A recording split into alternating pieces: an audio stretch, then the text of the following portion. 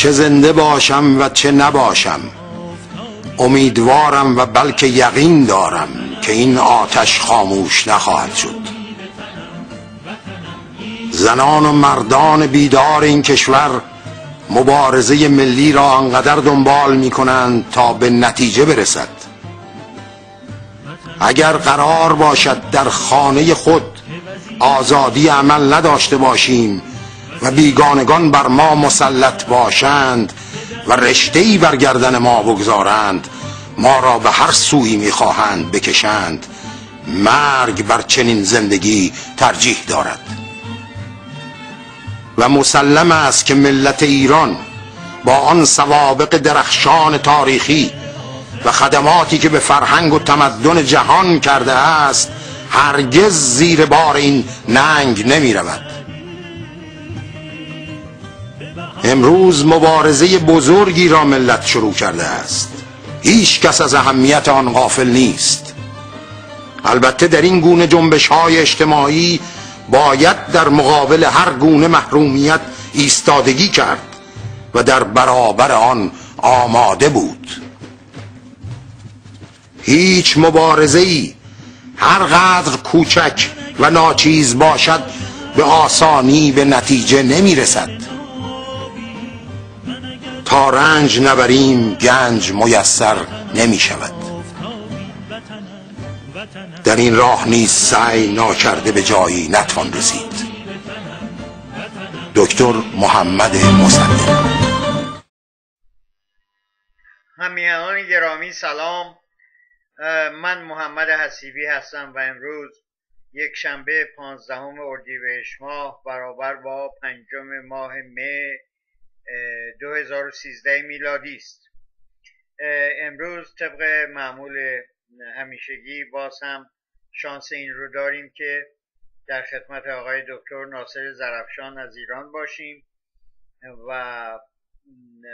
از ایشان سوالات بسیاری همیشه داریم که سعی می‌کنیم چند تا از اونها رو یا مسائلی رو با ایشان مطرح بکنیم امروز. مسئله اول قبل از هر چیز آن چیزی است که در ایران به نام انتخابات به زودی در 24 خرداد ماه برگزار خواهد شد و باز هم گرچه قبلا صحبت شده در این مورد ولی باز هم از آقای دکتر ناصر زرفشان این تقاضا رو دارم که در مورد انتخابات و مسئله انتخابات رئیس جمهوری چه میگذره در ایران آقای دکتر؟ بار دیگر به شما سلام می‌کنم و میکروفون رو به شما واگذار می‌کنم.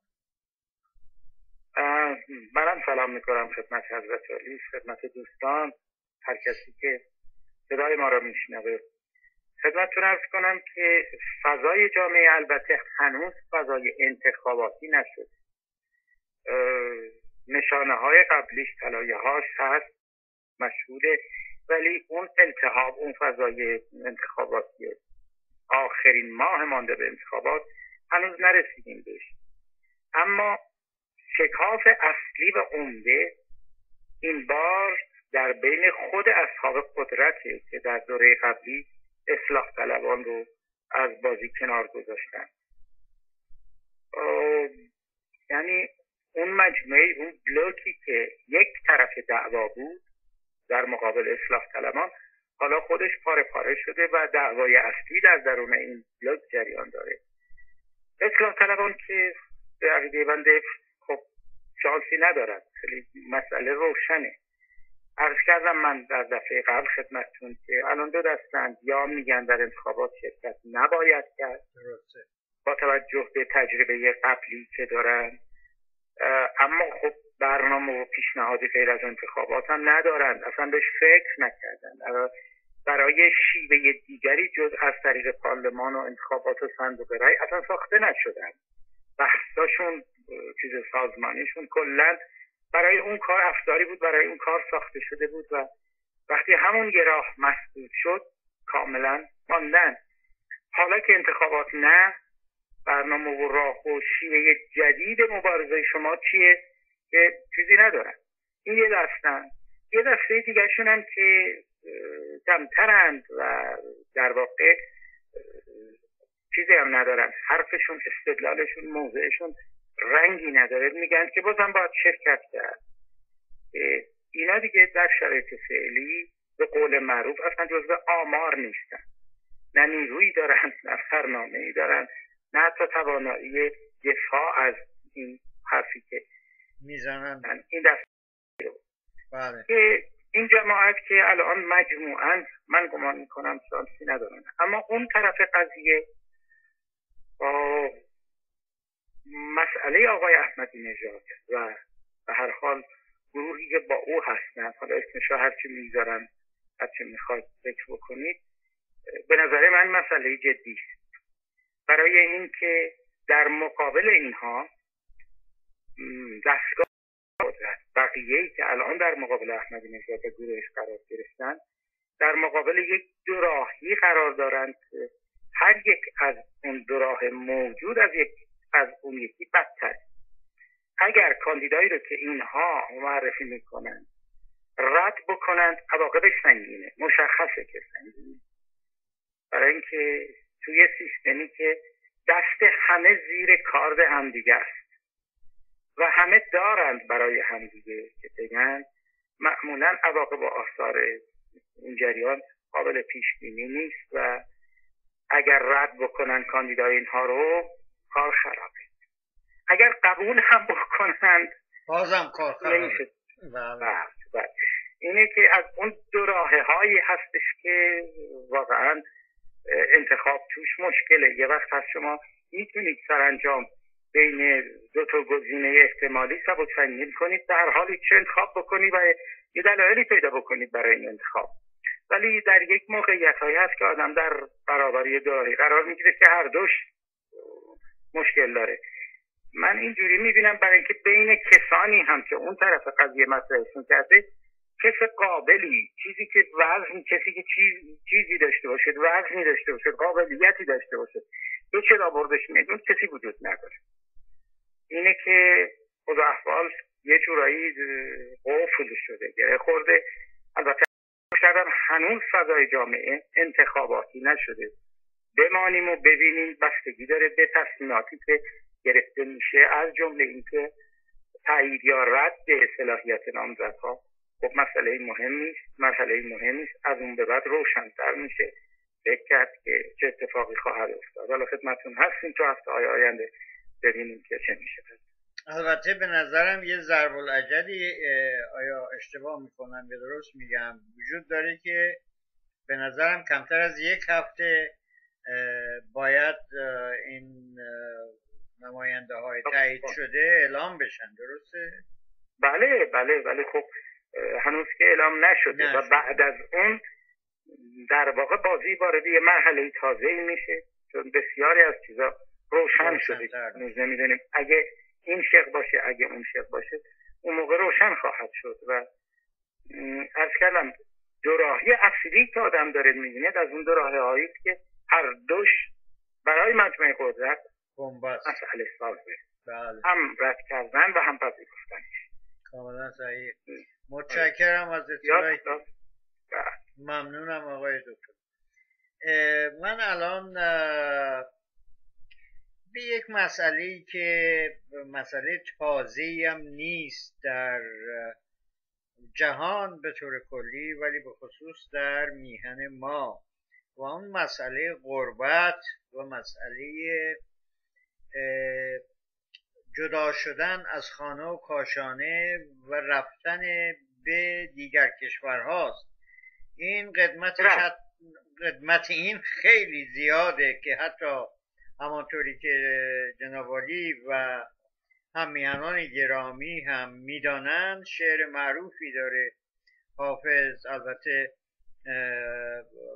شکوه و شکایت حافظ از غربت در اشعار بسیاری دیده میشه. اما یک شعری که بسیار معروف است که این گونه آغاز میشه که نماز شام غریبان چو گریه آغازم به مویه های غریبانه قصه پردازم.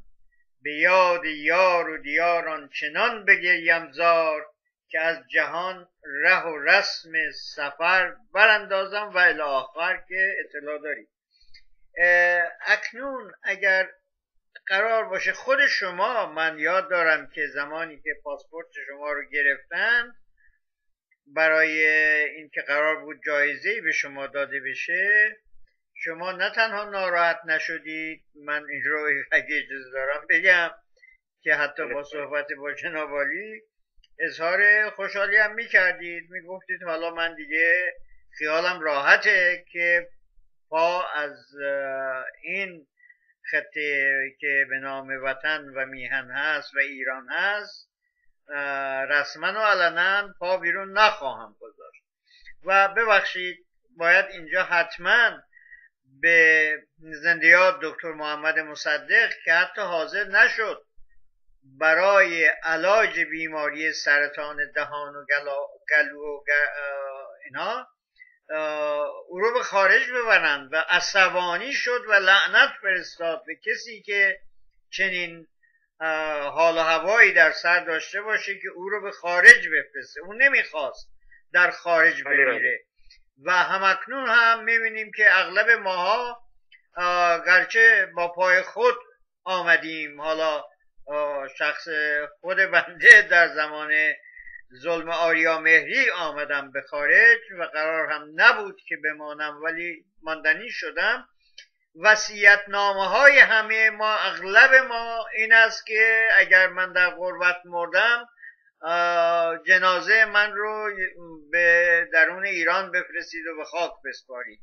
این جریان اگر قرار باشه اندرزی شما به جوانان امروز که هر بعضی از آنها حداقل یا تعداد بیشماری از آنها هرس و وله آمدن به اروپا و امریکا به خصوص و دیگر نقاط کشور کشورهای جهان دارن اندرز شما چیست آقای بله عرض کنم خدمتتون غمانگیزه خیلی غمانگیزه قضیه واقعا. درست. و مسئله منحصر به ما هم نیست همونطور که فرمودید و منحصر به این سالها هم نیست. اما گرایشی است که در سالهای اخیر شدت پیدا کرده. گرایش ناسالمی است و به نظر من به جای بسیاری از فرمایشات بیهوده‌ای که خارج کشور دوستان خارج مرتب تکرار می‌کنند ای کاش یه اقدام جدی به خصوص اونهایی که رفتند و تجربه زندگی کردن بیرون رو دارند یه تعرضی رو اساسی علیه این قضیه می‌کردن برای اینکه این گرایش در سالهای اخیر از کردن. به شدت بیشتر شده گسترش پیدا کرده و گرایشی ناسالم باید باش مبارزه کرد. مهاجرت می‌دونید که خب خاص ما نیست و حالا برای اینکه به کسی هم بر نخوره شما بیایید موج سنگین مهاجرت امواج عظیم مهاجرتی رو که در بین کشورهای دیگه ملل دیگه بعد از جنگ به خصوص از طرف کشورهای مستعمره سابق که عضو دومینیون مستعمراتی مثلا انگلیس یا فرانسه بودن و بعد از جنگ اینا به استقلال هم رسیده بودن خب نزدیکتر بودن. اینا آمدن به کشورهای متروپول خودشون یه موجود مهاجرتی منباب مثال سیاهان آفریقای شمالی آفریقای غربی که مستعمرات سابق فرانسه بودن به فرانسه هندی ها و انگلادشی ها پاکستانی ها به انگلیس نمی‌دونم ترک ها به آلمان و نظایر اینها بود و هست و مطالعه هم شده که این پدیده مهاجرت به طور کلی حالا بگذاریم از فقط جنبه های احساسیش پدیده تازه نیست و مطالعه شده. اولا جنبه اجتماعی قضیه مطرحه فرد مهاجر یه هویتی داره که این هویت رو از محیط و شرایط مادی زندگی خودش طی سالها سال توی کشور بومی تو وطن خودش تو زاد بوم خودش این هویت رو کسب کرده. این هویت محصول شرایط بومی زادگاه اوست وقتی شرایط مادی که بستر و زیربنای این هویت بوده تغییر بکنه یعنی وقتی مهاجر یک کشور دیگه مهاجرت می‌کنه خب شرایط کشور میزبان متفاوته. مهاجرت کنه اون هویت قبلی رفته رفته کم رنگتر میشه. تمام جنبه ها و ابعادش.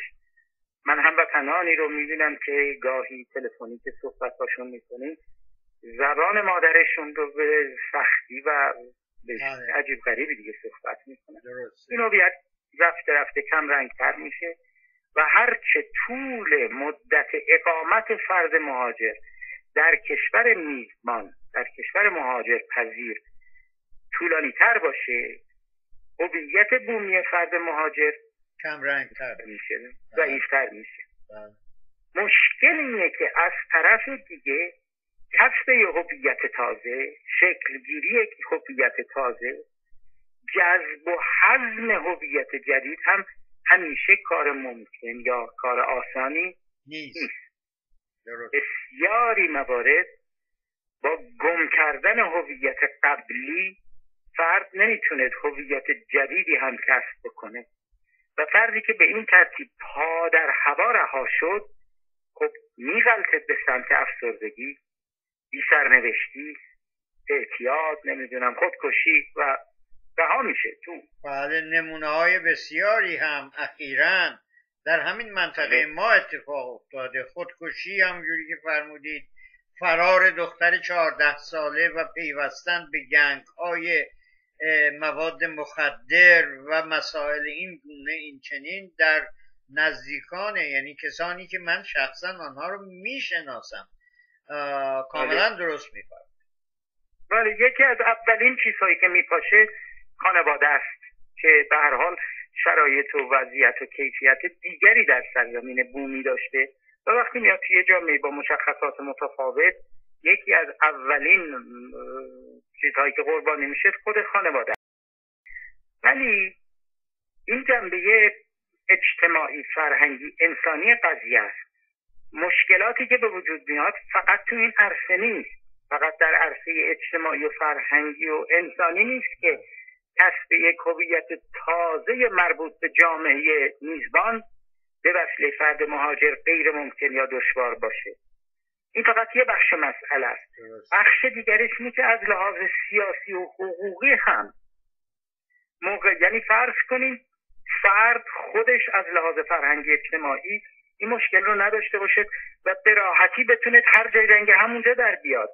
بخش دیگر قضیه اینه که از لحاظ سیاسی و حقوقی هم موقعیت هایی در مثلا یک کشور اروپایی و مخصوص خود اروپایی ها موقعیت هایی که هست یک فرد مهاجر حتی پس از کسب قانونی تابعیت و موقعیت قانونی جدیدم اگه خودش هم از پا نیفته صد سال هم تلاش بکنه رسیدن به اون موقعیت ها برای او که خود فرد اروپایی ازش برخوردار هست مخصوصا اونهایی که مهار جنبه های اصلی زندگی زندگی اقتصادی رو فلان رو به دست دارن امکان پذیر برای مهاجرین نیست. یعنی صرف این که از لحاظ حقوقی یک مهاجر شهروند یک کشور مثلا اروپایی شناخته بشه از لحاظ دسترسی داشتن از لحاظ دسترسی پیدا کردن به موقعیت های اجتماعی و اقتصادی هرگز به معنای برابری چنین مهاجری با یه فرد اروپایی اصلی نیست. کاملا درست. واقعا موقعیت های اونا دارن که صد سالم تلاش بکنید. تصور این که مگه عمر یک انسان چقدره؟ شما موقعیت از کردم اینو تو, تو چارچوب کلیش بله. نظر بگیرید. حالا هموطنان خودمون رو می‌رسیم. موقعیت مهاجرین کشورهای آسیایی آفریقایی رو در نظر بگیرید که بعد از جنگ چون اینها مثلا از مستمرات انگلیس یا فرانسه یا بقیه کشورهای اروپایی بودن یعنی جزء دو میلیون مستعمراتی کشورهای متروپول کشورهای اروپایی بودن. جمعیت زیادی از این کشورها به عنوان مهاجر اومدن به اروپا. و چون تو این کشورها اصل خاک حاکمه از لحاظ تابعیت نسل دوم اینها که متولد مثلا انگلیسی یا فرانسه است قانونا انگلیسی یا فرانسوی یا آلمانی شناخته میشه. اما سوال اینه که همین موقعیت حقوقی قانونی آیا کافی است برای اینکه موقعیت این مثلا سیاهان در فرانسه یا بنگلادشی و پاکستانی در انگلیس از لحاظ دستیابی به موقعیت های اقتصادی و اجتماعی با اونهایی که مهار امور اقتصادی و سرمایه ها رو دست دستشون دارن یکیه. آیا می توانند به اندازه یک فرد خب بنگلادشی پوستش و رنگش رو که نمی‌تونه عوض کنه پوست خودش که نمی‌تونه عوض کنه؟ آیا موقعیت های این ولو تابعیت هم از لحاظ حقوقی قانونی کسب کرده باشه؟ با موقعیت یه انگلیسی زایده نمی‌دونم فلان یکیه خیلی روشن مسئله. به این کیفیت حالا از این از نقطه نظر عمومی مهاجرت که ارز کردم هم از جهت انتباق خود فرد به اصطلاح اسیمیناسیون فرد کسب هویت جدید انتباق با شرایط تازه. هم کار ساده و راحتی نیست و هم اگر این مشکل رو هم که این به خود فرد مربوط میشه و اون جامعه شرایط اجتماعی فرهنگی اون جامعه اینم ندیده بگیریم دادن حق قانونی مثلا شهروندی یا تابعیت به یک کسی که از جایی آمده معنیش این نیست که. این جامعه میزبان این فرد رو در شرایطی برابر با یکی از چیزای دینی خودش پذیرفته. این تصور باطله. حالا تو جزئیاتش ما این فرصت رو نداریم. الان وقتش نیست نمی‌تونیم. ولی شما اونجا دارید زندگی می‌کنید به خصوص تو اروپا. حالا توی امریکا و کانادا این امواج پی در پی مهاجرت یه مقداری این قضیه رو کم رنگ ترش کرده ولی در اروپا که وحشتناکه. اون وقت از لحاظ سیاسی خاص نگاه بکنیم به خصوص هموطنانمون.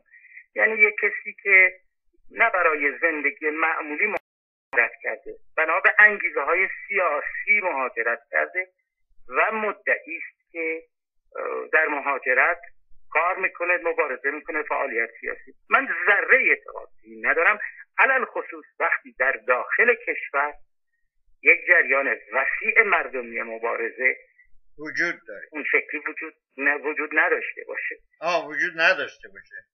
اگر داشته باشه حالا وظایفی هست اون وقت یه چیزایی رو میشه تعریف کرد بیرون کشور میشن ولی این نسخه هایی که الان برای ایران بیرون کشور پیچیده میشه باور کنید. باور کنید اینجا موجب خنده است.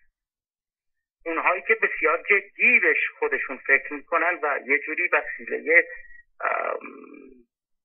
دل نگاه داشتن خودشون. چه بگویم؟ از لحاظ روان شناختی از لحاظ روحی اونجا روش بندن. جدیترینش وسیله خنده است. امکان نداره که ذهنی که توی شرایط مادی و عینی روزمره اینجا نیست بتونه توی هم شرایط پیچیده رو حل برای پیدا بکنه. و اون که خب حالا یه وقت مسئله حفظ جانه. ما یه موجی سالهای دورتر داشتیم که حساب اونها رو باید جدا کرد. درستانی که بدون رو درواسی و تعارف جونشون رو برداشتن از این مملکت رفتن. اون حساب جدا ولی عرض می‌کنم در سالهای اخیر من رو این دارم صحبت می‌کنم این موج شدت گرفته. فارغ التحصیلی که هیچ, هیچ مشکلی نداره. جز اینکه یه سری آزادی های فردی و شخصی. و این بلند میشه به سوداهایی میره به اروپا میره به کانادا میره به امریکا. و من معتقدم که اینها موظفن وقتی تجربه کردن اونجا رو رو درواسی رو بذارن کنار. کاملا درسته. در معرض نقد خانواده یا در معرض نقد دوستانشون قرار می‌گیرن. اگر از تصمیم قبلیشون عدول بکنن. اول اینها هستند که تجربه کردن این وضعیت رو و باید به طور جدی حرکتی بکنن برای اینکه جلوی این موج رو بگیرن. کاملا درسته. مسئله بسیار مهمیه. بله من شخصا معتقدم که حرف اون باباشام رو هر کاری ما بخوام بکنیم اینجا باید بکنیم. چراغ ما در همین خانه میسوزد. کاملا درسته. هایی را هم که توجیهاتی هم که همه دارن می‌دانم به قبول دارم. ولی هیچ کدوم اونها دلیل این حرکت نمیشه این موج از کردم در سالهای اخیر خیلی شدت پیدا کرده. به طوری که بله اینا با یه جماعتی بزرگی اینها خود تبعیدی ها نام گرفتن بله. که واقعا دلیلی برای اومدن به خارجشون نبوده. کاملا درست. خود ببینید آقای دکتر خود می‌خوره به خودشون. بله اینجوری.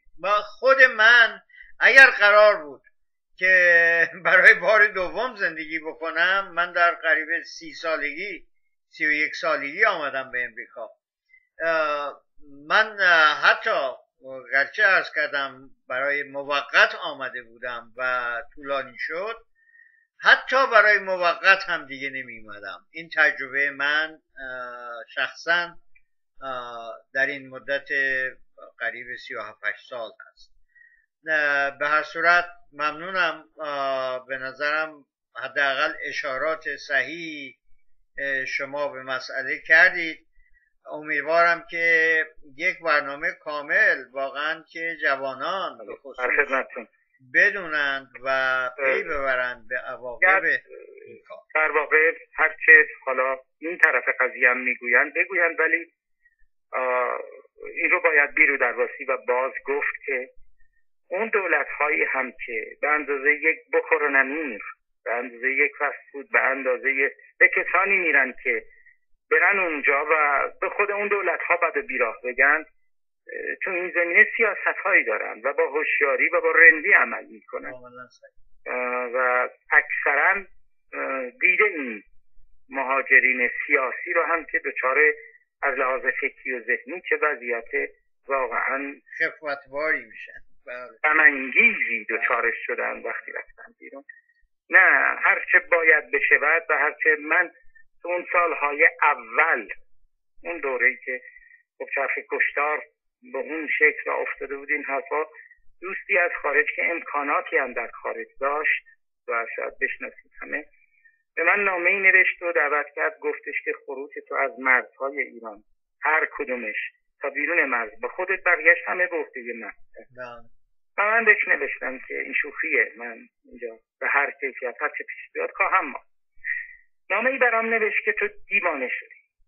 این این بود. و بهش جواب دادم که خب این بحث ما که هیچ کدوم به دلیل عینی و ملموسی متکی نیست که بگیم کدوم درسته کدوم نادرست. فقط زمان داوری خواهد کرد. باشین تا بدانیم کدام یکی. من نمیگم دیوانه. بگم کدام یکی خطا کرده. و آمد به سر این دوست رفیق ما آنچه که من فکر می‌کردم بیرون. چون مسبوق سابقه بود دفعه اولم نبود و به هر حال گمان می‌کنم در درجه اول وظیفه دوستانی که در خارج کشور هستند و رفتند و این تجربه رو کردن اونم به دست خودشون اونم بدون دلیل حالا اون موجه اول حسابش جداست ولی تو همین سالها هر کس میره سال اول دوم دانشگاه دانشگاه به در خود فکر تشکیله پرونده است برای بیرون و اینکه زودتر پذیرشش از کجا بیاد و بره و هیچ کدوم اون تصوری رو که اینجا دارند وقتی میرن واقعا بهش نمی‌رسن به نظر من به همین دلیل در درجه اول وظیفه اوناست که یه فکری اینم یکی از مسائل ملی ماست برای ما. بله. خیلی. مرغ همسایه بی جهت فکر می‌کنی صدای قاز میده. نه نه نه. ما چراغمون در همین خانه میسوزد. هر کاری بکنیم باید اینجا باسیم بکنیم. و نه در اینجا. با روی خودمون هم باید بکنیم. هیچ کس هیچ کس برای احقاق حقوق لگت مال شده ما نه از جیبش خرج می‌کنه نه از جون سربازاش نه از تصورات واهی خیلی متاسفانه از دوره دوره قاجار. خب این ریشه داشته. خانواده بله. هایی که با عشق به این کشور و اون کشور از بچگی بچهشون میپروروندن. بعدا اونهایی که دستشون به دهنشون میفرستاد می‌رسید میفرستادندش می‌رفت همون کشور برمیگشت. بعدا تا آخر عمرش خدمت گذاره ها بود اینجا بله. ما که بهتر از من می‌شناسید بله. درد درد بزرگی است. دردی است که ریشه هایی داره ریشه های تاریخی داره گرایش ناسالمی است که در این سالها رشد هم کرده است و باید باش مبارزه کرد. مطمئنا. بسیار ممنونم از اشاراتتون در این مورد.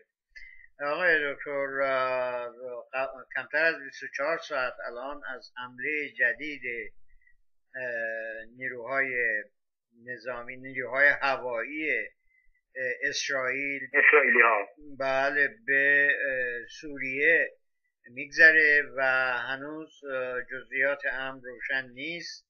اما یک بار دیگر همگان به یاد داریم که در ژانویه همین امسال این حمله نظامی انجام شده بود و این دومین باره همزمان با این حمله از چند روز گذشته یا یکی دو هفته گذشته مسئله به کار بردن مواد شیمیایی یعنی مواد سلاح شیمیایی جسته گریخته گاهی که بله دیده شده ولی معلوم نیست از کجا و به این ترتیب صحنه سازی داره میشه و آدم رو به یاد اون دروغ مربوط به کشور عراق و صدام حسین و سلاحهای کشتار جمعی که می‌گفتند و بعد معلوم شد که اثری از آن در عراق نبوده صحبت داریم میشه. نظر شما و تعبیر و تفسیر شما چیست در این زمان؟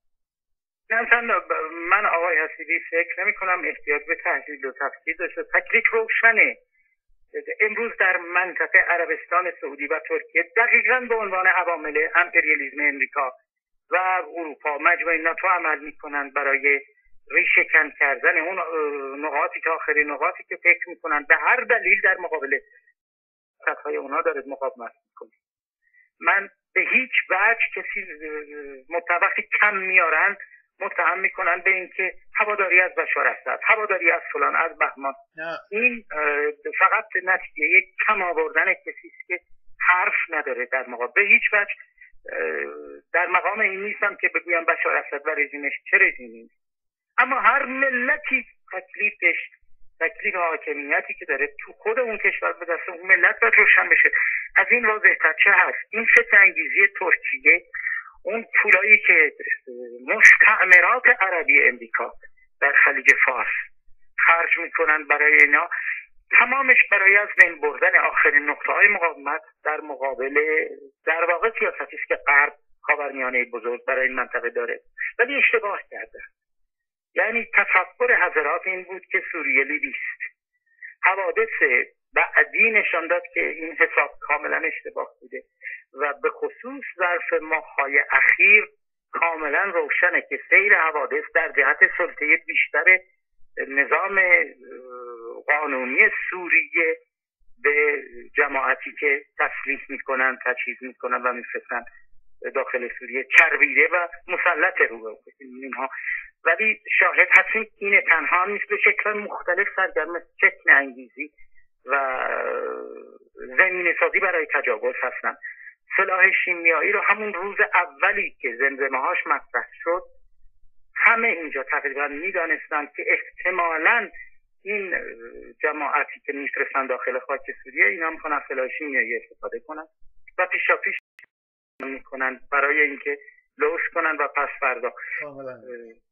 ما می‌شناسیم این روها رو دیدیم. ولی ظرف پنج شش ماه اخیر عرض کردم سیر حوادث در جهت سلطه هر روز بیشتر ارتش سوریه رو این نیروها بوده. علا رقم تمام پولی که به اینا میدن علا رقم تلاش گسترده ای که برای مزدور جمع کردن از سر تا سر دنیا و فرستادن به داخل خاک سوریه می‌کنن و علا رقم نقش رزیلانه ای که ترکیه ترکیه عامل اسرائیله.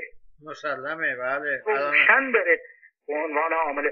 و تمام مسئله مسئله این نفت خاورمیانه و حضور اسرائیل تو منطقه. عربستان سعودی قطر و ترکیه.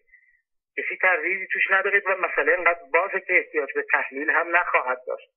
اما من خیال نمی کنم که این بار به اون سادگی سنبه حضرات جا بره. اوضاحفال اینو دارید نشون.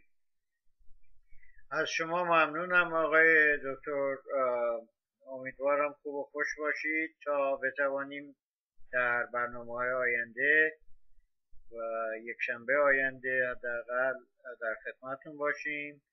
اگر فرمایش دیگری لازم می‌دونید بفرمایید وگرنه رفع مزاحمت بکنم و وقت آرزوی سلامتی شما و هر کسی که صدای ما رو میشنود دارم. تشکر. روزتون بخیر اونجا. شب شما بخیر خب همیهنان گرامی واقعا این مسئله غربت همونجوری که ارز کردم آه و فقان حافظ و شعرهای دیگه از دیر زمان از غربت در اشعارشون به خوبی پیدا. و یکی از مسائلی که بیگانگان طالبان هستند به خصوص این روزها در مورد کشور ما ایران. این است که جوانان ما بیان اینجا و در خدمت بیگانه قرار بگیرن حالا دو دسته مختلف حداقل اینها هستن یکی دسته خیانتکاران و نوکر صفتان که بیشتر زیر علم آقای رضا پهلوی سینه می‌زنند و تکلیف آنها روشنه. اینها به جز نوکری به جز سرسپردگی به بیگانه و چپاول و غارت مملکت هیچ هدفی ندارند نداشتند. حالا هر چقدر هم که این تلویزیون های لس آنجلسی می‌خوان شاهنشاه آریا مهر رو به عنوان یک آدم رعوف به عنوان یک آدم نمی‌دونم صاحب اخلاق صاحب سکنات معرفی بکنند آنچه که در تاریخ مانده آنچه که در اذهان عمومی مانده. خلاف اون رو ثابت کرده و یک مورد هم وجود نداره که کمترین عشق و علاقه این دودمان به رهایی ایران داشته باشند هر دو هم پدر بزرگ یعنی رضا هم محمد رضا محصول قدرت بیگانه است.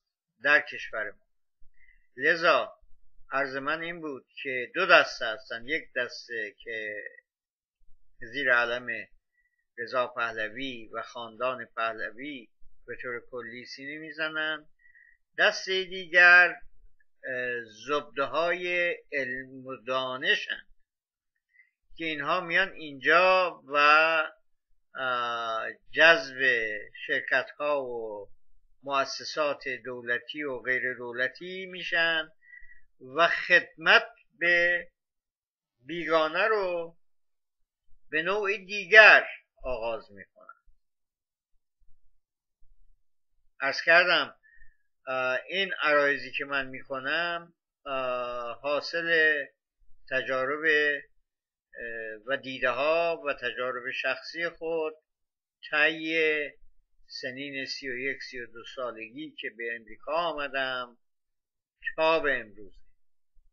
این تجارب نشون میده که اصلا آمدن به غربت آمدن به کشورهای بیگانه حتی به طور موقتی هم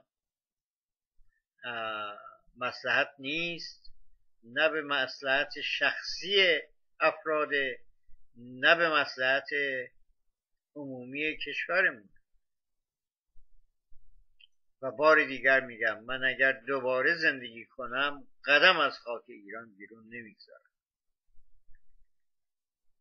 با وجود اینکه هم از نظر مالی از نظر درآمد موفق بودم اما پشیمانم. به راستی پشیمانم که آمدم به خارج.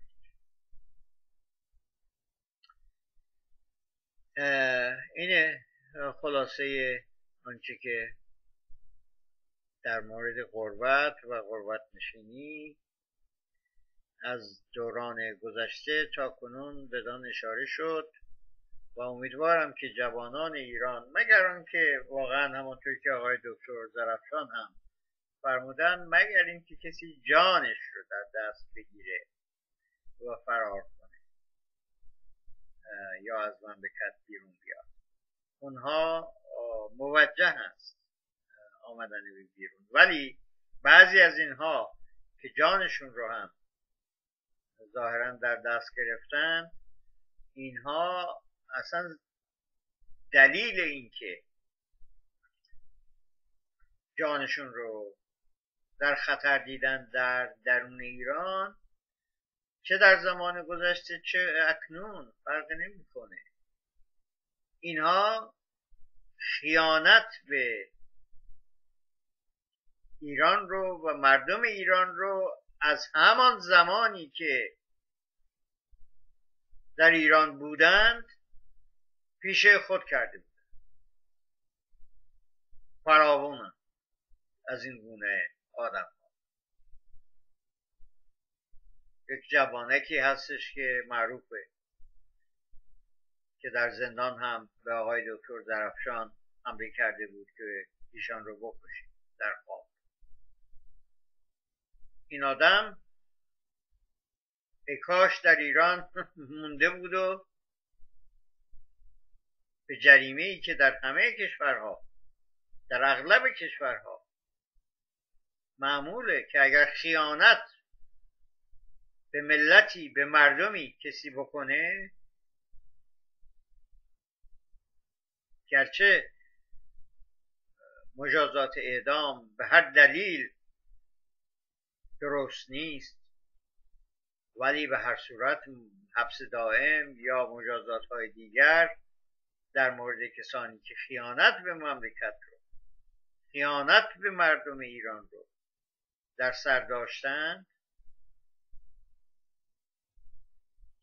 اینها موجه بوده. حالا اینها جانشون رو برداشتن در رفتند و حالا که جانشون در خطر نیست به خدمت بیگانه پیوستن مستقیم رفتن به واشنگتن و رفتن سراغ سیایه و رفتن سراغ وزارت امور خارجه که ما آمده آمدیم که اینجا نوکر شما باشیم و منافع شما رو در مملکتمون حفظ کنیم. و اینها زیر عنوان آزادی خواهی و این دروغ های بزرگ در تلویزیون های لس آنجلسی دائم بلبل زبانی می‌کنن ولی خوشبختانه جایی در ایران ندارن از اون آقای رضا پهلویش بگیری تا جوجه خدمتگزاران آقای رضا پهلوی که حالا کنفرانس درست می‌کنند و از این نمایشات و سرگرمی ها برای خودشون در واقع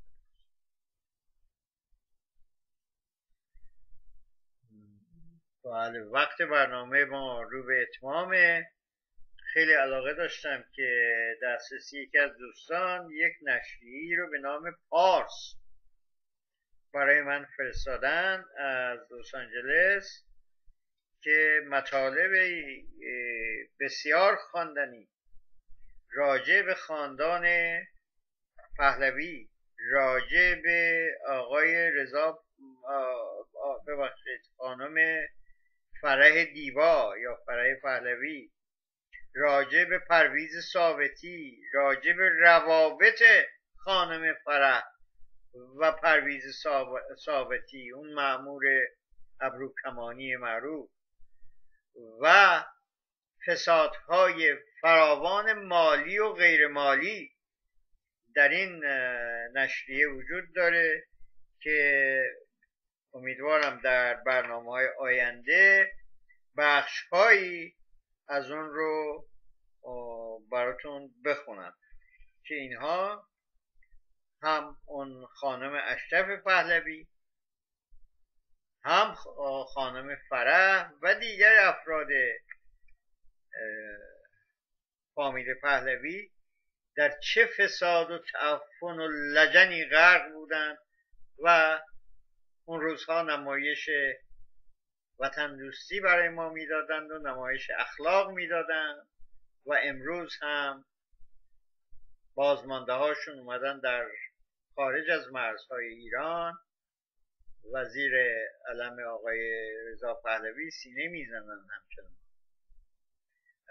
مسائلی رو تاج الملوک همسر محمد همسر رضا شاه یا مادر مادر محمد رضا شاه مسائلی رو عنوان می‌کنه. در این مجله نوشته شده که مسائلی که تاج الملوک حتی شرم می کرده از رفتار و کردار فرح و دیگر دوستان معنس ایشان در دربار واقعا شرماور بود. به هر صورت اینها مدعیان رهایی ایران امروز شدند و این سرگرمی است که فقط برای خود درست کردن. برنامه امروز به پایان رسید. برای همه شما عزیزان روزگار بهتری رو آرزو دارم. و به امید استقلال که بدون استقلال محال است ما به جایی برسیم.